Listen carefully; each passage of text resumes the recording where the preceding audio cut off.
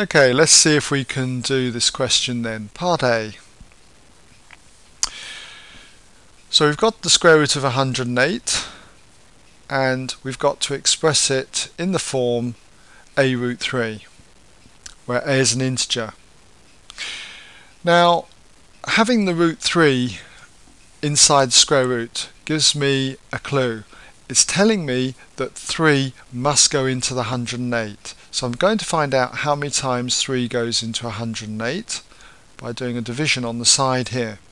So 3 into 10 goes 3 times with 1 left over and 3 into 18 goes 6 times, so 36 then.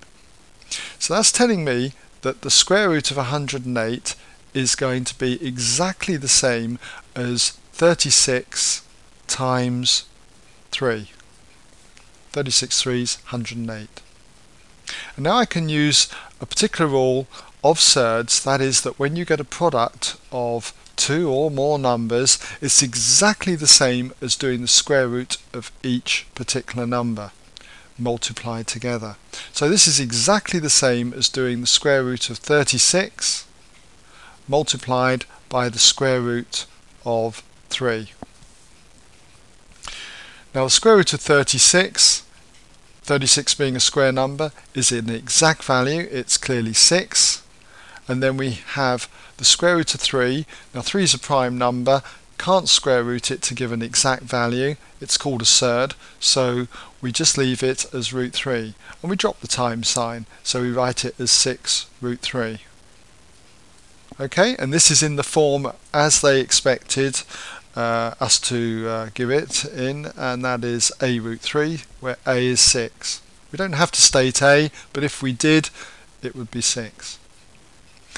Okay so we move on to part B now and in this one we're asked to expand the 2 minus root 3 all squared and give it in the form b plus c root 3 where we've got to find the integers b and c.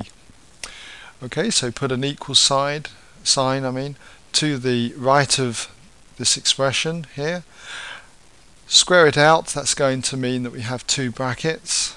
So we have 2 minus root 3 and another 2 minus root 3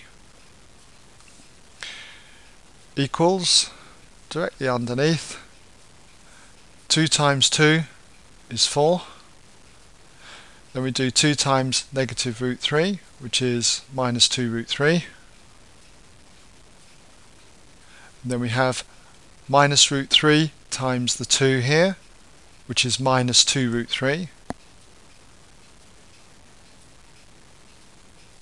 And then we have minus root 3 times another minus root 3, which is going to be a plus answer, and it will be 3. There's several ways of looking at that, by the way. Some of you might say root 3 times root 3 is the same as the square root of 9, which in turn is 3. Or some of you might see it as root 3 all squared is just simply 3. Okay, so put that on the end.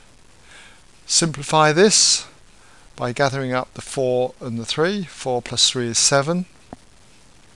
And then minus 2 minus another 2 root 3 is minus 4 root 3.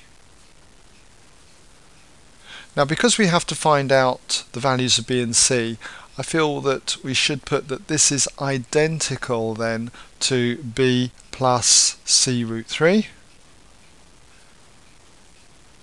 and then comment on what b and c are. So I'm going to say where b equals clearly that 7. Be careful here uh, over the c value. c is not 4 but it is we are we were adding negative 4 so it is negative 4 okay?